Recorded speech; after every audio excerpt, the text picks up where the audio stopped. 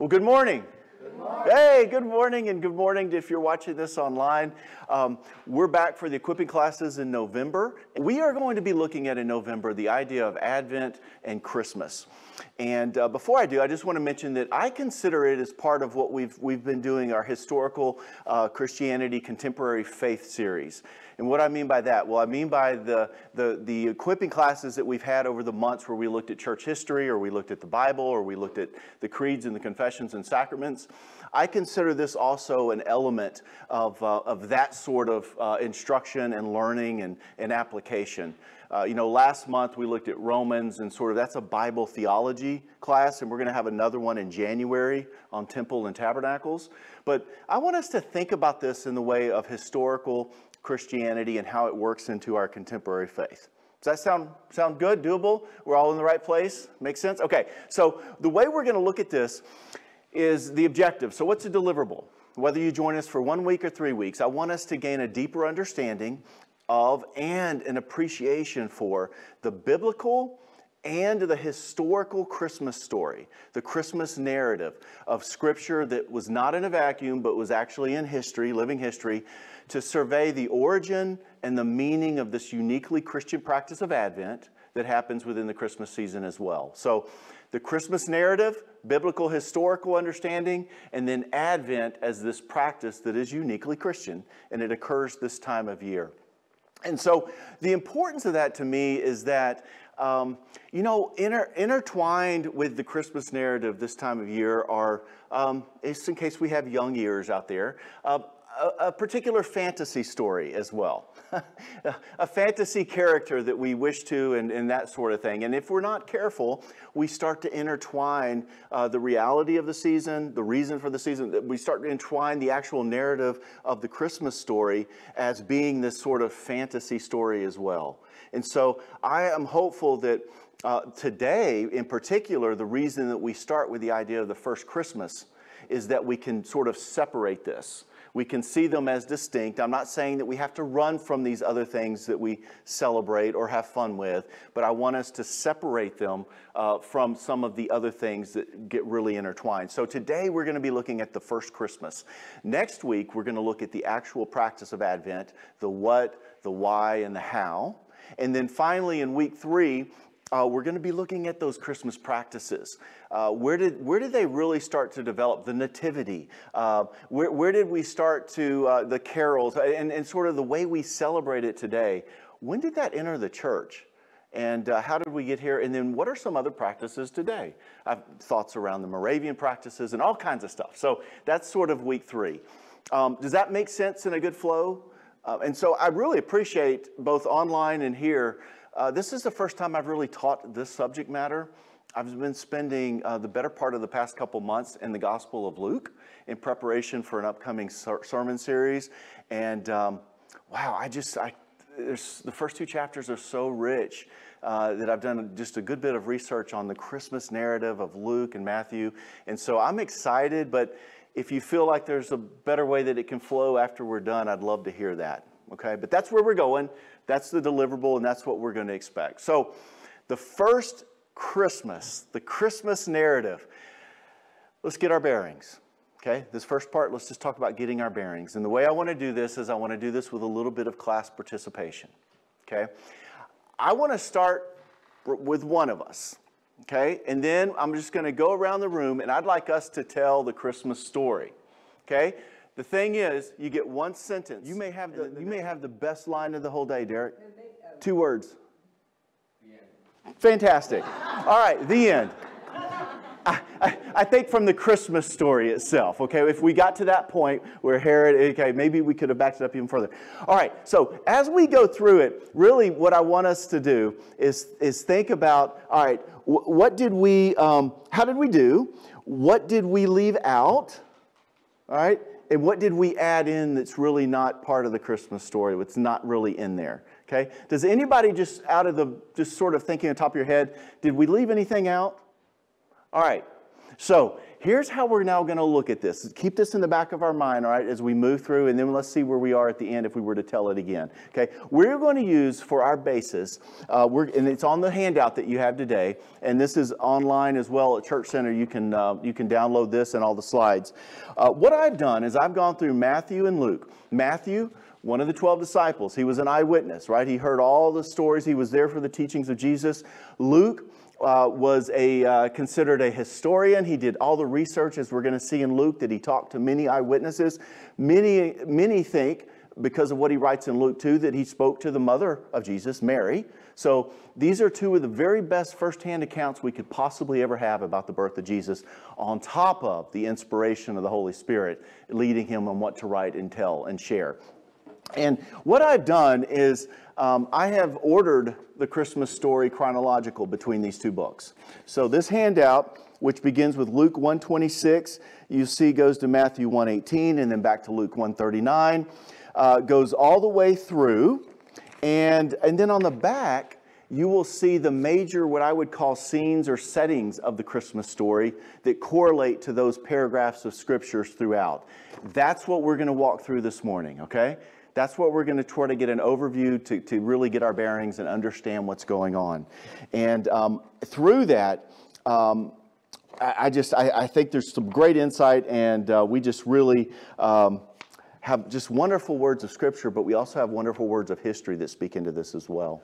So let's go through this. Let's break this down and let's just look at each segment just for a moment. All right. So the first scene or setting of the Christmas story, I believe, you, while you could start with John the Baptist, the angels coming to uh, Zechariah and Elizabeth, I would suggest for our purposes, we're going to start the Christmas story as saying the angel Gabriel came to Mary. That's in Luke 126 through 38. So let's talk about Mary. What do we know about Mary? All right, here's a few things that I would suggest that are that we know or that are most likely uh, possible, probable. Okay, one is she would have never recognized the name Mary.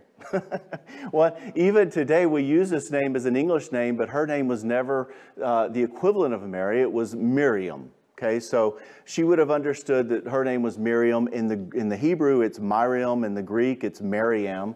And somewhere along the line, like many aspects of the Christmas narrative that we're going to discover, somewhere along the line to the English translation of the Middle Ages and the understanding of the language at that point, which was still a little bit rudimentary, we just sort of transitioned completely to Mary.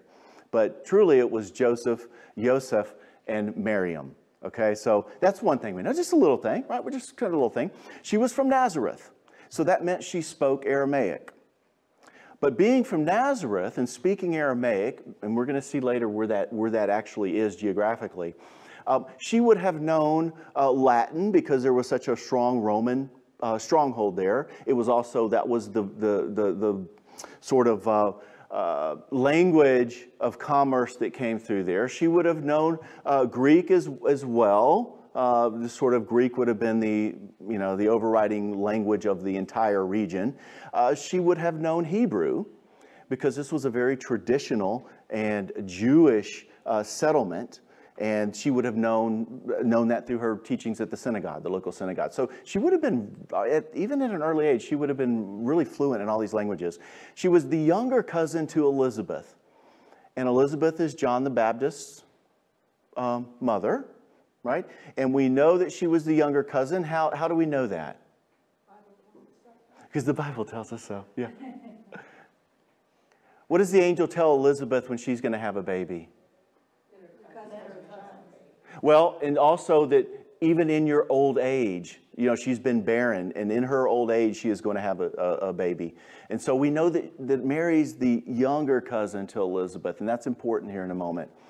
Um, we also know that in Palestine, the Bible never tells us this, but the typical betrothal, to be betrothed to someone, was typically around the age of 13 or 14. Could Mary have been older? Absolutely. Was it likely that she was 13, 14, somewhere in there to be betrothed? Yes, that was likely the custom. So that's, that's probably uh, what's going on here. And we know that she was likely fluent in the Torah. So the first five books of the Bible, she would have known with, with all her heart. It would have been oral tradition, and she could have really just taught us about the first five books of the Bible. And then likely many, many more things about the prophets and the Psalms, as we'll see here in a moment as well. Um, Mary, does, uh, is this how, how we've characterized how we think of Mary? Pretty much. Any other questions? So, why, why would it be important to know that she was that fluent in the Torah and that this was really something a very Jewish um, culture uh, religiously as well? She would have known of the promise of a Savior. Yeah, yeah, yeah. So even though when the angel comes to her, she's certainly, you know, startled and uh, she's treasuring things up in her heart later and all that, uh, she would have still had this idea that, oh, wow, you know, does she know? I don't know, but she certainly knew, knew uh, the Hebrew scriptures.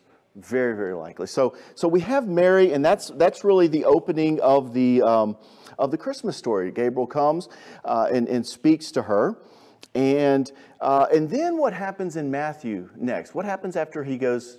To, well, he goes to Joseph, right? We see the angel Gabriel come to Joseph next, starting in Matthew 1 18. And we'll look back at this.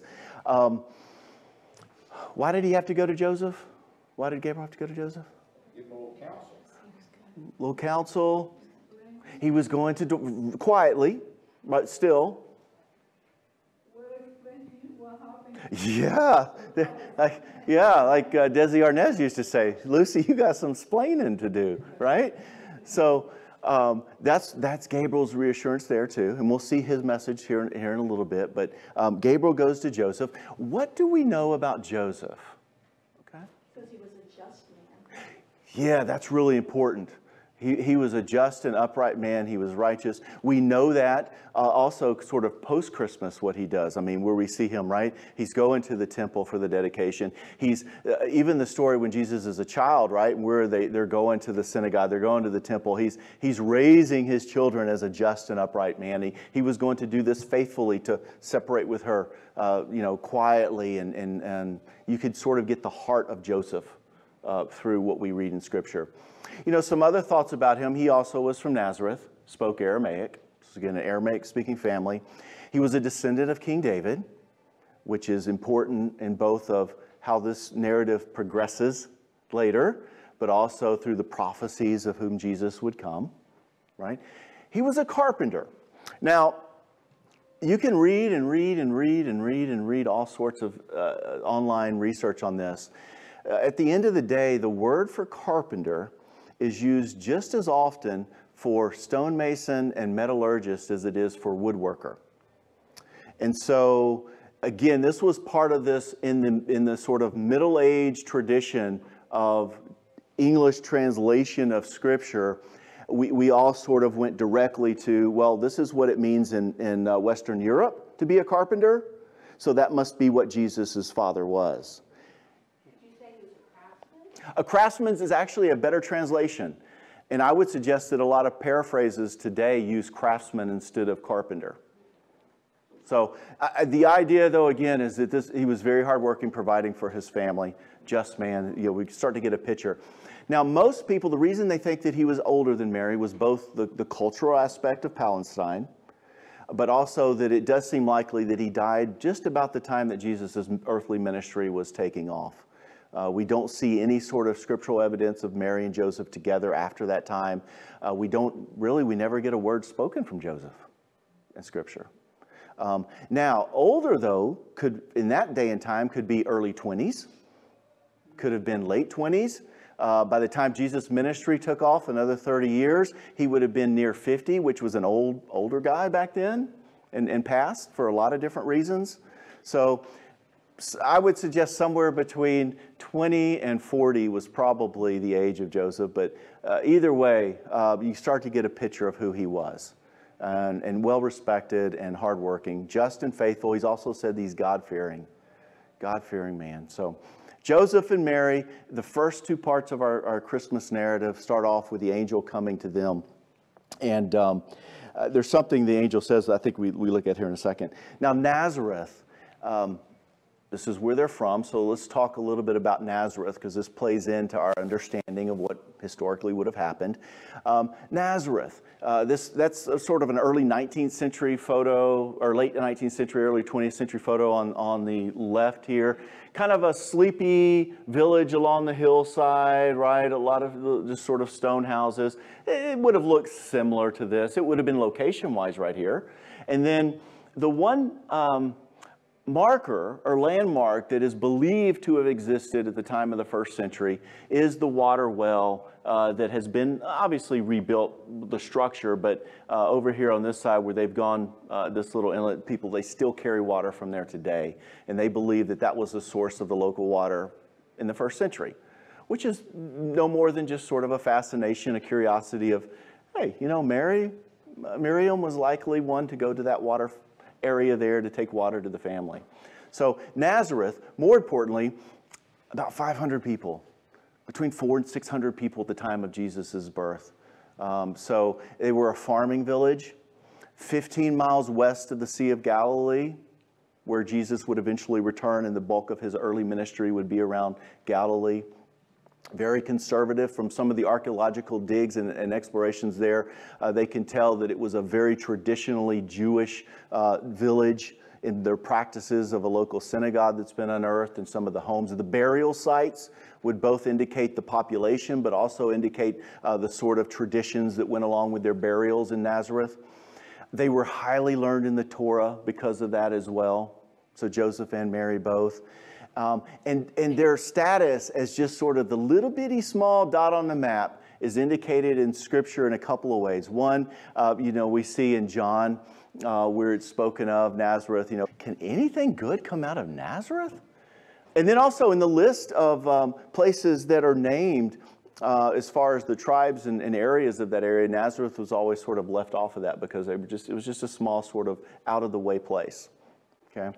Now, um, we continue. So the angel goes to uh, Mary, the angel goes to Joseph.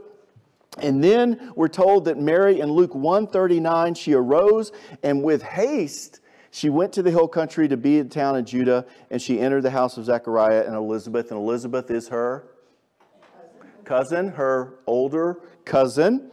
And we have this exchange between Elizabeth recognizing that Mary has been divinely ordained by God to carry God's son, and she knows this from her own, uh, you know, her own pregnancy that she feels John kicking, and she says this. Uh, Behold, when the sound of your greeting came to my ears, the baby in my womb leaped for joy. And this is an important part of the Christmas story, I think, for a couple of reasons. One, when we look back at um, what the angel said to Mary, in, um, look at Luke 1 36. Right? She's telling Mary everything that's going on in Mary's life, and then, and then or the angel's telling, Gabriel's telling, and then out of the blue, he says, Oh, and behold, also, you should know, your, your relative, your older cousin Elizabeth, in her old age, has also conceived a son. This is the sixth month of her who was once barren, called barren. And look what is added. For nothing is impossible with God. That is so instrumental to the Christmas story. Gabriel, the Lord knew Mary needed to hear this, right? You, you are going to have a child. You have not had relations, and the Lord is going to be with you. You're going to be called blessed. And I mean, the doubts, the, the, the uncertainties, I know the Lord led John the Baptist on the scene to, be, to prepare the way as well, and there was purpose for that. But I'm convinced is that part of the pregnancy of Elizabeth at this moment with John the Baptist was to demonstrate to Mary and to Joseph that nothing was impossible with God. To further her trust in what she was about to go through. Elizabeth, at her age, she's pregnant? No way well, if that, well, if that can happen, I, sure. And, you know, and Mary even leaves that, right? Well, behold, I'm a servant of the Lord. Let it be according to your word.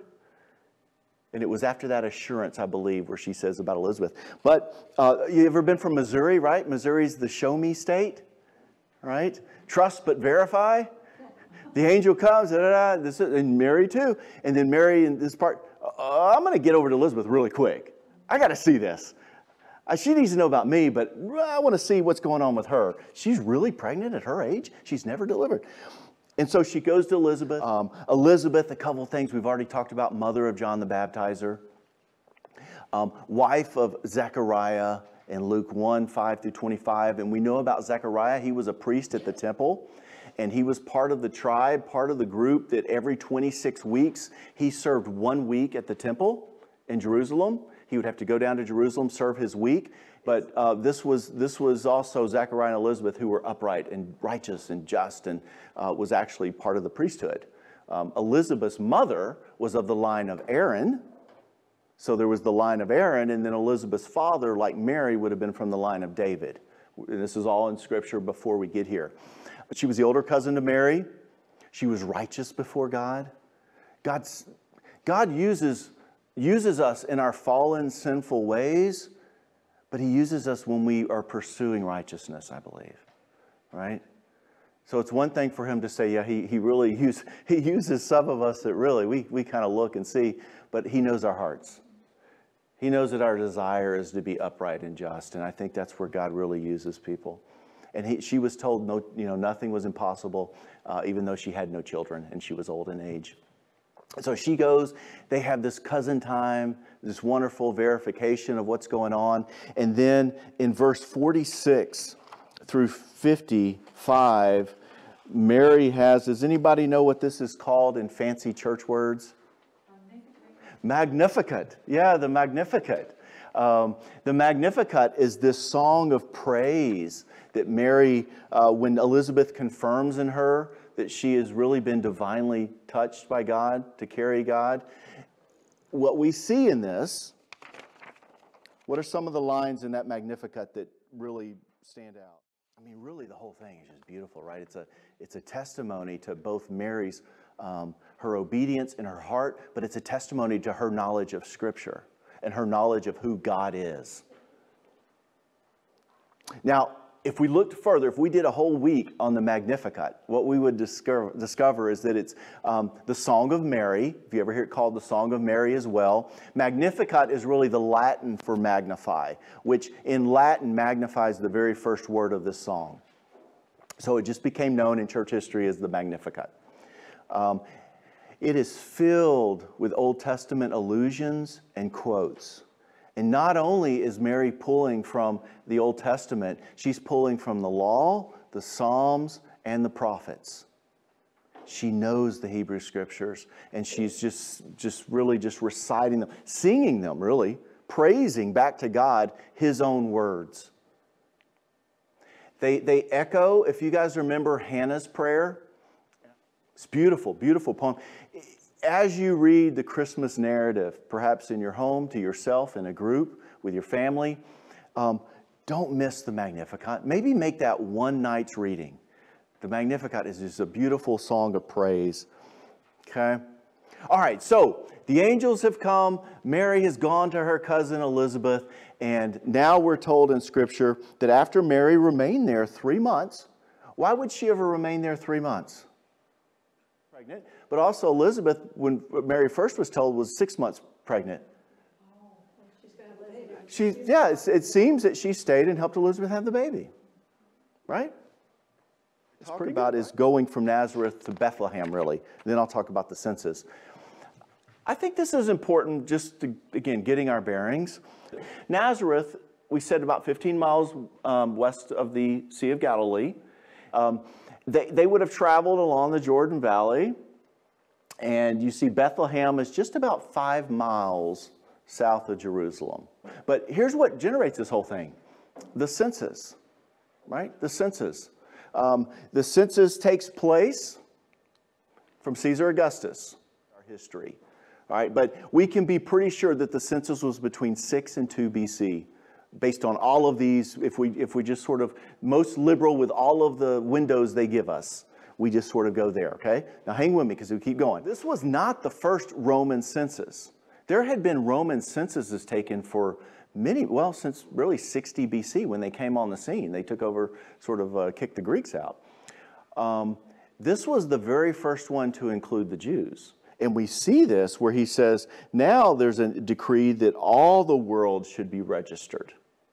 prior to that, the censuses were only Roman citizens. Well, they start to expand. They've got huge, I mean, it, really, they were a gift relative to the Western world and the Eastern world with transportation and road systems and aqueducts and all those sort of things. And so they start expanding, and well, now we need some money, right? But they say Rome wasn't built in a day.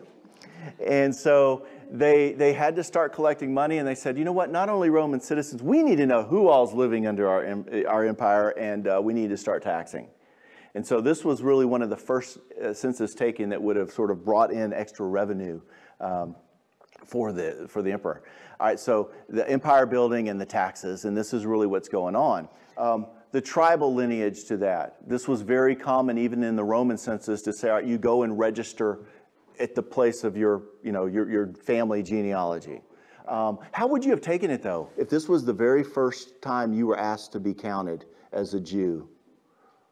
You just do it, right? Now, you know, maybe you, you, you have plans and, and you're thinking, oh my goodness, we've got six months to do it, but would have taken it very seriously. This would have been something very seriously, and there never would have been an option. Well, Joseph, why don't you go on down and I'll stay here? You know, no, no, no, no. Rome called. Let's. We better do this, right? So, yes, it's, you know, it's interesting. I was over well over sabbatical. One of the things that I really enjoyed doing, I've never done, is a genealogy sort of study.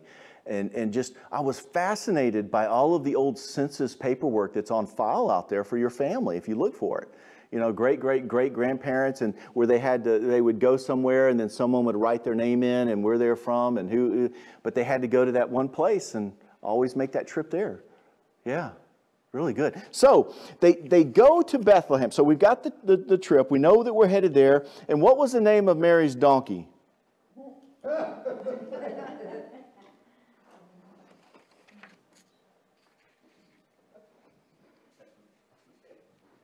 she probably didn't have a donkey. We just like to put her on one because we, we think we, we don't want her walking.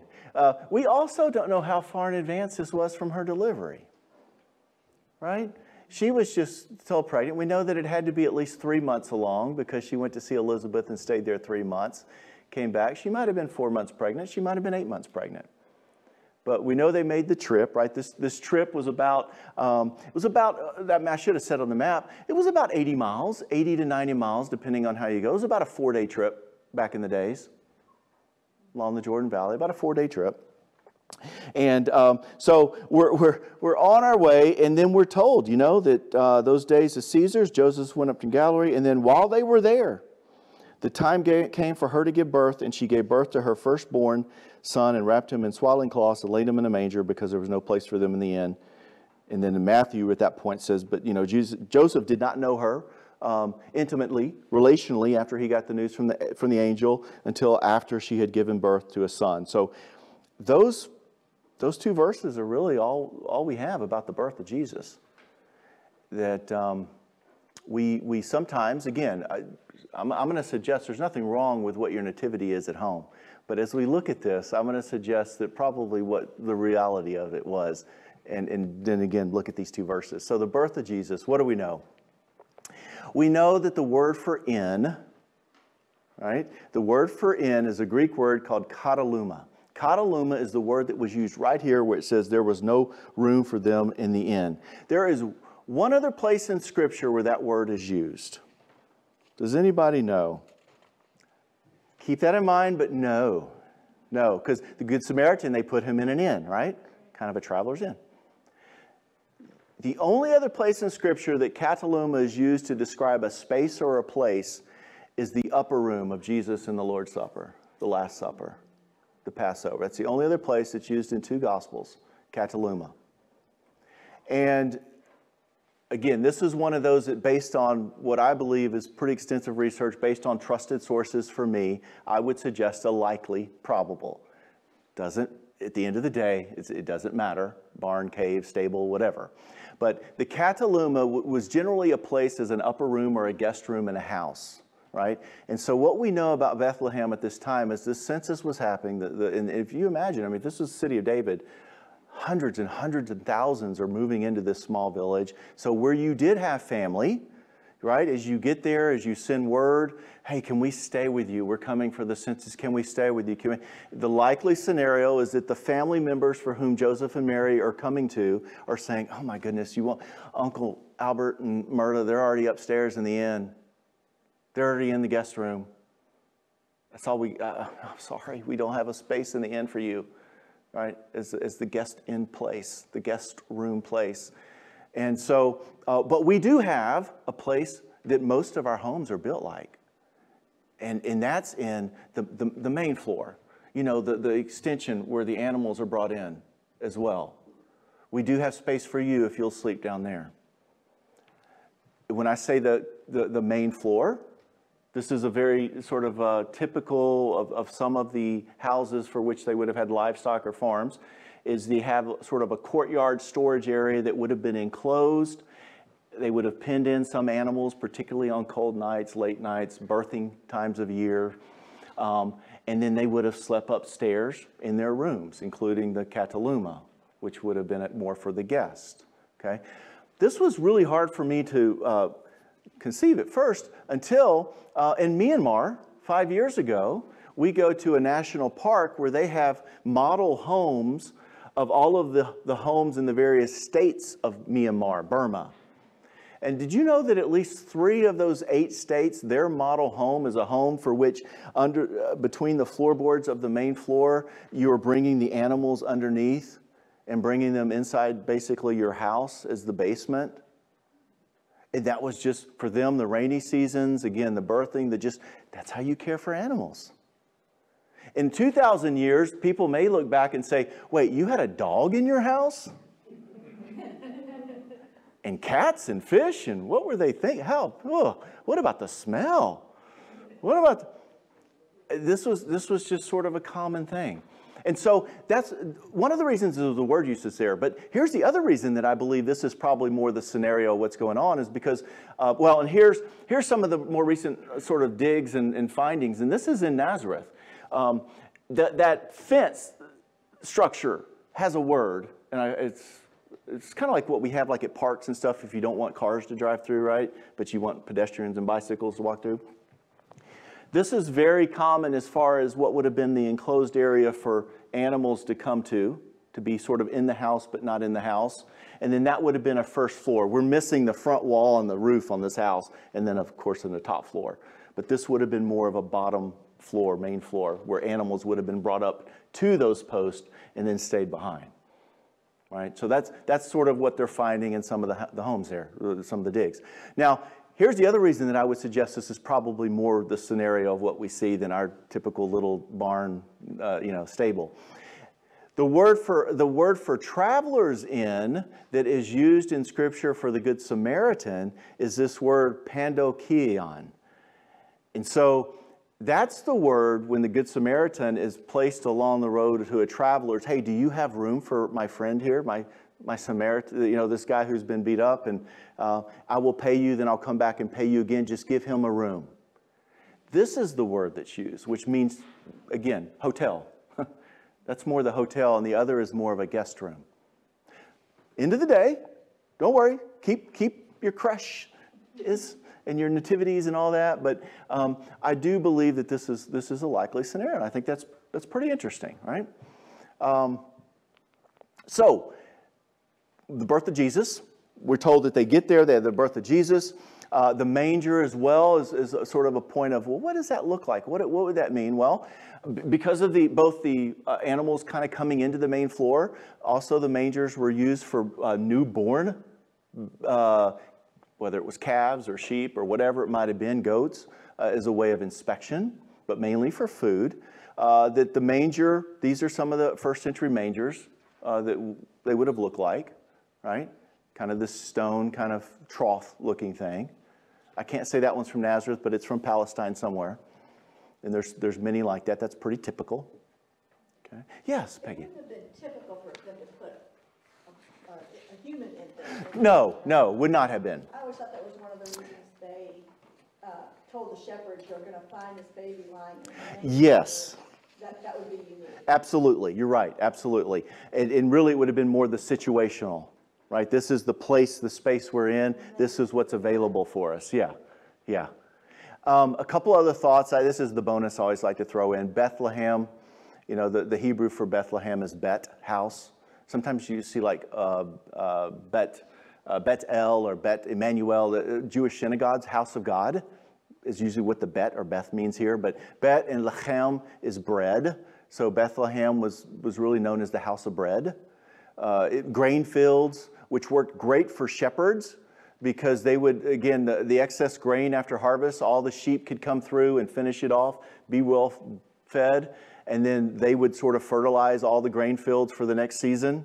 So there was this great relationship between the sheep farmers and the, the grain farmers there. Uh, but we also, it really does bring to mind John 6 35, where Jesus says, He is the bread of life. Whoever comes to me will never be hungry. And just to sort of visualize this, you know, his, his coming into this world was uh, literally in the house of bread. So I think that's kind of a great connection, just an FYI. Then we get to the shepherds, right? So Jesus is born, and we're told that in the same region, shepherds are out, uh, and the, the angels come to, to him, and there'll be a sign no star for the shepherds. Okay, so I think we, we might have mentioned that earlier. But what do we know about the shepherds? Well, for one, for as far as the eye could see around this part of Jerusalem toward Bethlehem, um, this it just made me think of uh, oh, what's her face, Julia Andrews. Yeah, the hills were alive with the sound of sheep, for certainly.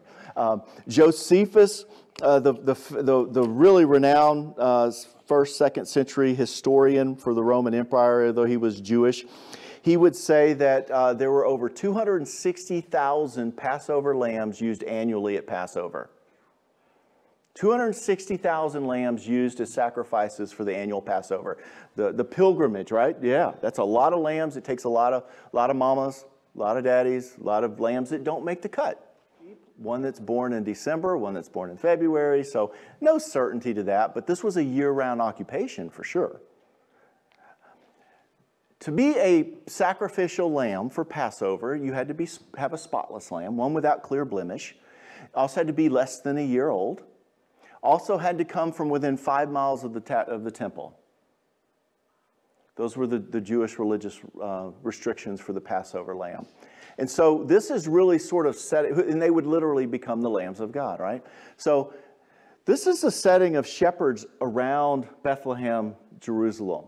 Very important important job. In fact, it was almost like a, a, a, a lamb factory of sorts. And much of it was overseen by the priest in the temple right? And sort of generating all, all of these lambs. Um, and so that's, that's li- a likely scenario. It wasn't just like, you know, a bunch of guys and their eight sheep just happened to be wandering around Bethlehem that night, right? It, it, this is a mega thing. And so uh, important, remembering that. Remember how important their job was, because we're going to see what they do here in a second. And so that reminds us, you know, John the Baptizer, when he first sees Jesus, right, behold the Lamb of, of God. And now we have the sacrificial lambs, and we're, we're the, the Lamb of God. The shepherds, I think it's notable, are the first to receive the news of the, of the, of the birth of Jesus, at least, if not the gospel. I think that's very notable. Wasn't the priest, wasn't the temple? Uh, but yeah, they would have been seen as outside, and they would have been seen as um, loners, right? You're out in the field day and night, 24 7. Uh, and look at their response, right? When the angels went away from them in heaven, they said, Let's go. Let's go to Bethlehem and see this thing that has happened. Well, what about all these sheep and these lambs? Let's go. We need to go, right? And so they come, they, they visit Mary, the baby. They're also become the first to worship. Were wondered, and the shepherds returned, glorifying and praising God for all they had heard and seen just as it had been told to them.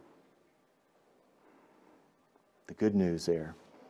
All right, and so finally we get to these sort of intriguing, mysterious, what do we do with them? Wise men, magi from the east, who were they? What do we know about them? Well, one, we know that the word used for um, Jesus, for child, okay, verse 9 until it came to rest over the place where the child was. This was a word, uh, uh, paedio. Paedio would have mean infant, toddler, so not newborn. So we know that uh, Mary stayed for months, maybe a year and a half, two years, who knows? But it was a few years later. This is why we also know King Herod, when he put out the edict, he, he put it out for uh, baby boys how old? Two and under. Two and under. So it sort of gives an indication this is probably a time about a year, year and a half later that these wise men show up. Um, they reported to King Herod the Great. Uh, he'll be the first of three Herods we have in, in Scripture. He soon uh, would, would die off, and then we would see the um, and, Antipas, um, who, would, uh, who would come and really be the one that Jesus stood before and was sent and killed John the Baptist. And then Agrippa would be the one that Paul stood before but that was a family line there, um, the Herodian dynasty. So in that part, uh, these, these men from the east came, and a likely indication, uh, this was sort of astrology group. This was sort of uh, Zoroastrianism, I think there's a pronunciation of that, but they were Zoroast, Zoroast. Someone can correct me on that. Uh, they studied the stars. They were kind of into the cosmology aspect of things, also end times uh, but they were from Persia. Persia is Babylon. Babylon is obviously where the Jews had been for almost 100 years, some remnant, some remnant stayed. So they were men who knew the scriptures as well, the Jewish scriptures. In fact, um, they, they quoted part of the scriptures when they talked about uh, the star itself. And they knew it was different, that it wasn't just a, an asteroid or it wasn't just a shooting star because it stood still. They knew there was something supernatural to it. And so they followed it. And then Micah 5 2, um, they knew it was to be Bethlehem too, right? Micah 5 2, but you, O Bethlehem, you are too little to be among the clans, for you shall come forth for me one who is to be ruler in Israel. So this is how they show up at Herod's door. Herod, we, we know from our scriptures, we know from reading the stars, we believe the one who's going to be ruler over all Israel has been born. Well, how did Herod take that? Yeah. What do you mean the one over? I'm the one over. what, what do you guys talk? Oh, no, no. It's in the scriptures, in this star. It's been sitting out, and we've read the star. We know. All right, well, I'll tell you what. I want to worship this new king of Israel. You go find him. Tell me everything you can about him. And so they're off. So when they get there, Isaiah 60, verse 6 might come to mind for them because they arrive and it says they, they know, right? They, they arrived when they saw the star, they rejoiced, and, and going into the house, hmm, maybe the same house, maybe a different house. They saw the child with Mary, the child there again, his mother, and they fell down and worshiped him. In the presence of Jesus, you can't help but worship. And then opening their treasures, they offered him gifts gold and frankincense and myrrh. And you say, well, man, how did they know that's what Jesus would want? How do they, was there, you know, did Mir- Miriam have a, what do they call it, a registry? Down it. I was wondering what did it. Yeah, that's right. Uh, Isaiah 60, verse 6 They shall, a multitude of camels shall cover you, the young camels that are all those from Sheba shall come. They shall bring gold and frankincense, and they shall bring good news, the praises of the Lord. Uh, this is talking about the future glory of Israel that when he was when he would come forward that this is what people would just come to him and some of them would bring gold and frankincense and that that would be what would be brought before the new king. And so they know their hebrew scriptures as well and this is what they brought when they arrived. They said well, we just know. We know. This, this all has to be divinely orchestrated. And because we know we are not going to go tell herod anything. In fact we're going to go back to our home. We're going to go on around him and go back to persia and so they departed to their country by another way, which I always thought was great. So um, the first Christmas, the prophecies fulfilled, and we'll wrap it up here in a second. The prophecies fulfilled.